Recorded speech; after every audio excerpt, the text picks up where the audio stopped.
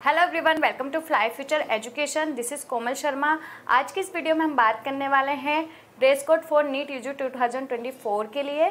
Fifth में NEET students के लिए बहुत ही बड़ा दिन है और इस दिन की शुरुआत बहुत ही अच्छी और स्मूथली हो। उसके लिए हमें प्रॉपर ड्रेस कोड फॉलो करना बहुत ही इंपॉर्टेंट है, जिससे कि आपको चेकिंग के टाइम पर कोई भी पैनिक सिचुएशन ना आए। सबसे पहले हम बात करेंगे कुछ कॉमन आइटम्स की जो कि फीमेल एंड मेल कैंडिडेट्स के लिए होंगे, जो कि आप कैरी कर सकते हैं, क्या आप कैरी कर सकते हैं, क्या कैरी नहीं कर सकते हैं।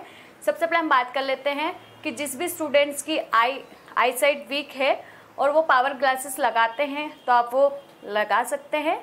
आपके लिए वो अलाउ होगा। सेकेंड आप कुछ मेडिसिन लेते हैं, जो कि आपको उसी टाइम ड्यूरेशन में लेनी है, जब आपके एग्ज़ाम टाइम हो। तो वो मेडिसिन आप कैरी कर सकते हैं। अगर आपको हाथ पे कोई प्लास्टर वगैरह लगा हुआ है, भी आपको अलाउ किया जाएगा। आप हेयरिंग एड लगाते हैं तो वो भी आपके लिए अलाउ होगा। आपने अगर परमानेंट टैटू कुछ लगा रखा है तो परमानेंट टैटू भी आपके लिए अलाउ होगा। बट आप पहले से कुछ टैटू ना बनवाए। इस इस चीज़ को आप अवॉइड कीजिएगा कि आप एग्ज़ाम के कुछ टाइम पहले से टैटू नहीं बनवाएँ।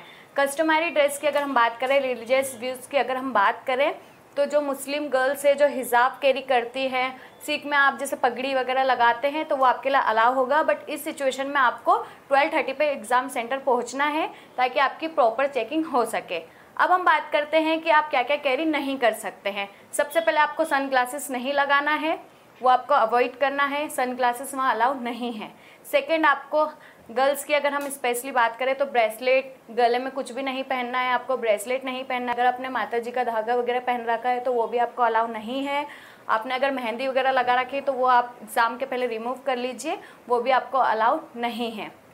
अब हम बात करें ऑर्नामेंट्स की तो आपको इयर नो स्पिन वगैरह कैरी नहीं करना है। आपको हेयर में कोई भी एसेसरीज नहीं लगानी है। आप नॉर्मल एक पोनीटर लगा सकते हैं और वो भी वहाँ पर आपको रिमूव करना होगा। अगर अलाउ किया जाएगा तो आप लगा लीजिए, पर आप प्रिपेयर रहेगी, वहाँ पर आपको हेयर ओपन भी करने पड़ सकते हैं। अब हम बात करते, ये हो गया कि आपको क्या कैरी करना है और क्या कैरी नहीं करना है। अब हम बात करते हैं कि प्रॉपर ड्रेस कोड क्या होगा। अब हम बात करते हैं फीमेल कैंडिडेट्स के लिए ड्रेस कोड की। तो सबसे पहले आपको टी शर्ट पहननी है, जो कि हाफ़ स्लीव्स होना चाहिए, बहुत ज़्यादा प्रिंटेड नहीं होना चाहिए, उस पर कोई भी अल्फ़ाबेट या बड़े बड़े छाप नहीं होना चाहिए।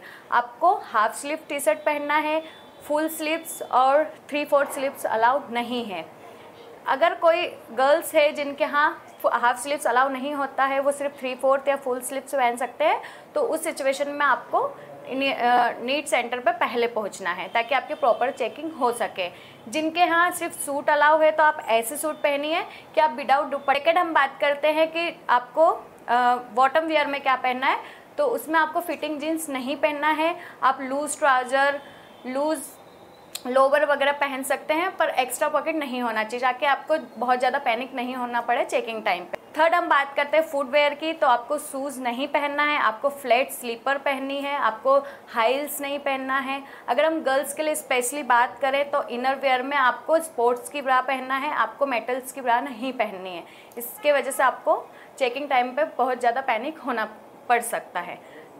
सेकेंड हम बात करते हैं मेल कैंडिडेट्स के लिए। मेल कैंडिडेट्स के लिए भी सेम है कि आपको हाफ़ स्लीव्स की टी शर्ट पहननी है फुल स्लीव्स की टी शर्ट नहीं पहननी है कॉलर नेक नहीं होना चाहिए वी नेक चलेगा या राउंड नेक चलेगा कॉलर नहीं होना चाहिए। आपको लोवर पहननी है सिंपल लोवर या ट्राउज़र लूज ट्राउज़र बहुत ज़्यादा टाइट या फिटिंग जीन्स नहीं पहननी है। आपको स्लीपर पहनना है, आपको शूज़ वगैरह अलाउ नहीं है। तो ये प्रॉपर ड्रेस कोड अगर आप फॉलो करते हैं तो आपको चेकिंग के टाइम पे बहुत ज़्यादा पैनिक नहीं होना पड़ेगा। Wish you all the very best for your exam thank you so